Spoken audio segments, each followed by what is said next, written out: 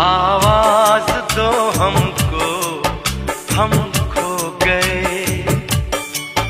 कब नींद से जागे, कब सो गए। तुम क्या गए?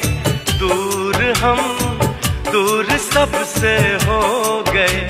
आवाज़ दो हमको, हम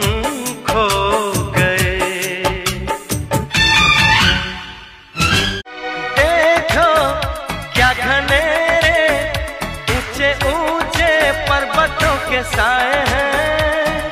चल के, यूँ मचल के, रंग बदल के हमसे आए